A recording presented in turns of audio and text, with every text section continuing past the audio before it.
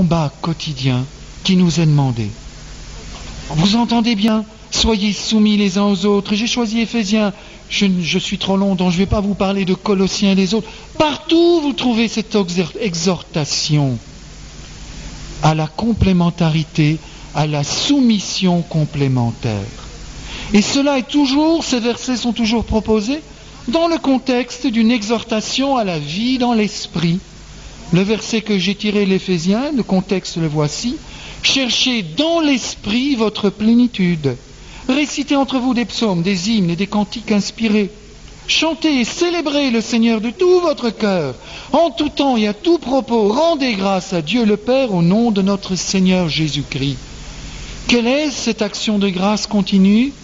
C'est la soumission réciproque dans l'obéissance amoureuse. La louange, je te loue, Père, pour tout ce que tu as donné à mes frères et sœurs.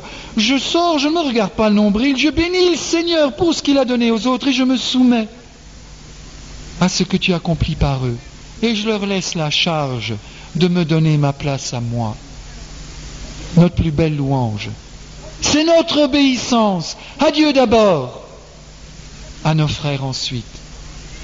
Bien sûr, dans le respect des charismes de chacun et surtout aussi dans le respect de cette hiérarchie ecclésiale que Dieu a voulu dans son Église et qu'il a instaurée, précisément pour nous permettre de vivre en toute sécurité cette obéissance qui rend gloire à Dieu.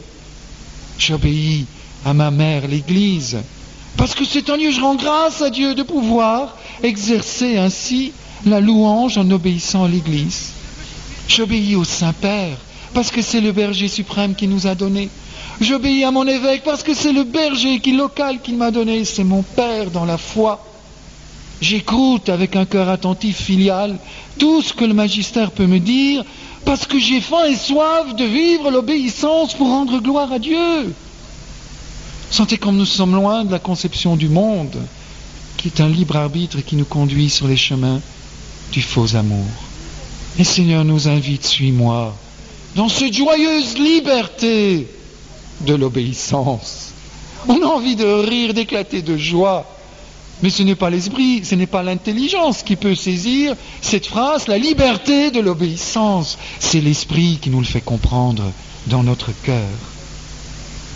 Mère Teresa, ah oui, ce combat, nous l'entendons dans la lettre aux Hébreux 4.11. Efforçons-nous, l'effort, d'entrer dans ce repos. Et le repos dont il est parlé dans la lettre aux Hébreux, c'est celui dans lequel Israël n'est pas rentré parce qu'il n'a pas obéi. Efforçons-nous d'entrer dans ce repos afin que nul ne succombe en imitant l'exemple des désobéissances d'Israël. L'obéissance est le lieu du repos où Dieu nous invite et dont nous avons tellement soif. Bien sûr, le chemin est difficile. L'amour, pour être authentique, disait Mère Teresa, doit faire mal, parce qu'il implique un arrachement à ma volonté propre. Mais qu'il est bon, cet arrachement, puisque c'est pour trouver le repos. Oui, il faut mourir à nous-mêmes. Mais je ne sais pas, moi j'avance, j'ai besoin d'une carotte. Mourir à moi-même, ça me fait peur, et je suppose vous tous. Mais mourir à tout ce qui m'encombre, tout ce mal-aimé qui est en moi, mourir à ça, ce vieil homme qui me colle à la peau comme un abyssal, pour entrer dans le repos. Ah oui, ça je le veux, ça je le veux. Rappelez cette merveilleuse prophétie, dans, enfin image dans le prophète, où on dépouille le prêtre des abyssales et on lui donne le bel habit. Le Seigneur veut nous dépouiller du vieil homme pour nous revêtir de son humanité glorieuse. Le chemin de l'amour n'est pas un chemin facile, car il s'agit d'aimer son prochain comme soi-même, de l'aimer plus que nous-mêmes au sens de ne plus tourner ma volonté sur moi, mais la sortir de moi, cette volonté, pour que j'adhère à la sienne.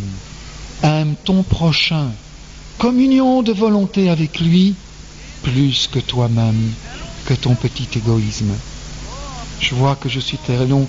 Il faut que je trouve moyen de résumer ce que je voulais encore vous dire.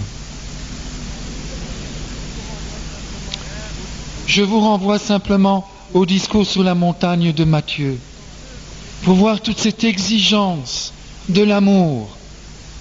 Si vous aimez ceux qui vous aiment, quelle récompense aurez-vous Les publicains, les païens en font autant. Si vous réservez vos saluts à vos frères, que faites-vous d'extraordinaire? Mais vous, soyez parfaits, comme votre Père céleste est parfait.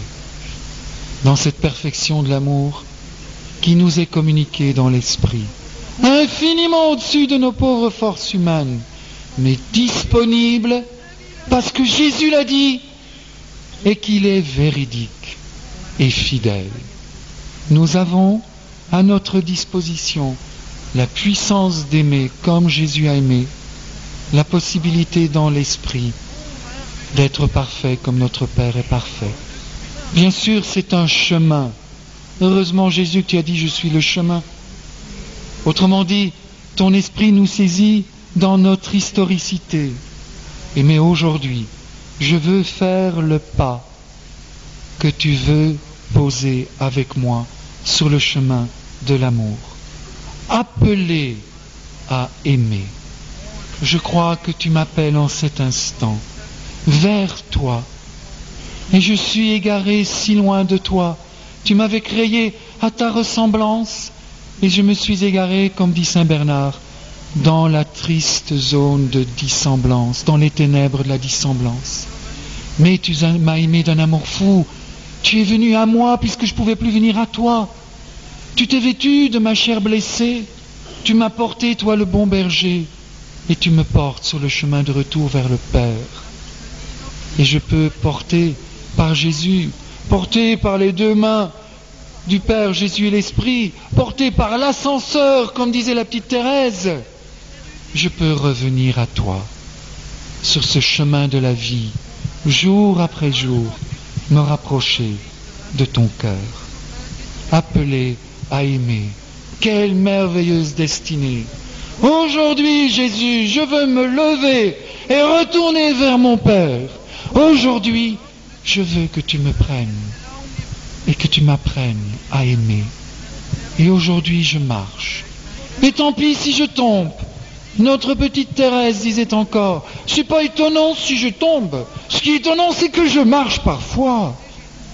Eh bien, je veux m'abandonner en toi tel que je suis pour que tu m'apprennes à marcher, monter cet escalier de la sainteté, je reste dans la petite Thérèse. C'est une grande marche que je ne peux pas monter. Et je crie, papa, viens m'aider. Et il me tend ses deux grandes mains, son Fils et l'Esprit, et il me fera marcher vers lui, sur un chemin qui ne finira pas. Le passage de la mort n'est que le passage dans la plénitude de la vie. Foi, espérance. La foi me fait lever comme l'aveugle de Jéricho. La foi me fait jeter le manteau du vieil homme. L'espérance me fait courir vers Jésus. L'amour me le fait étreindre. Et c'est lui qui me fait entrer dans le bonheur d'aimer. Je vous en conjure par tout ce qu'il peut y avoir d'appel pressant dans le Christ. Philippiens 2. De persuasion dans l'amour, de communion dans l'esprit, de tendresse compatissante. Mettez le comble à ma joie par l'accord de vos sentiments Ayez le même amour, une seule âme, un seul sentiment. N'accordez rien à l'esprit de parti, rien à la vaine gloire, mais que chacun par l'humilité estime les autres supérieurs à soi. Ne cherchez pas chacun vos propres intérêts, mais plutôt que chacun songe à ceux des autres. Ayez les mêmes sentiments que ceux qui sont dans le Christ Jésus. La mesure d'aimer, c'est d'aimer sans mesure, disait Saint Bernard. Prions, disait Mère Teresa, pour savoir partager l'amour, le bien le plus précieux, le plus indispensable, le bien qui jamais ne s'épuise et qui s'accroît comme on le partage, car nous sommes invités à porter ce pain que Jésus a multiplié et continue à multiplier pour nous, le pain de la miséricorde. Et cet après-midi, quand nous le recevrons, ce cœur de Jésus, livré pour nous, cette vie, ce sang, cette vie de Jésus, versée pour nous, recevons-le et disons à Jésus, tu m'as tout donné, je te donne tout, y compris ma liberté, mon cœur, mon intelligence, ma volonté, mon corps, ma vie, ma mort. Ton amour et ta grâce me suffisent et tu me les donnes dans ce cœur, ce pain partagé. Béni sois-tu, Seigneur Jésus, car tu es fidèle, et c'est encore toi qui accompliras cette merveille pour nous, qui fera de nous des fils créés par l'amour, appelés à aimer, et qui nous introduit dans ce brasier de l'amour divin. Amen.